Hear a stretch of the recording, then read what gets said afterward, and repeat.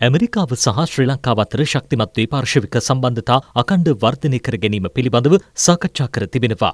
දෙරටේ රාජතාන්ත්‍රික සම්බන්ධතා මෙන්ම ආර්ථික හා සමාජ සහයෝගිතාව ශක්තිමත් කර ගැනීමටත් අවධානය යොමු වූ බවයි ජනාධිපති මාධ්‍යංශය පවසන්නේ.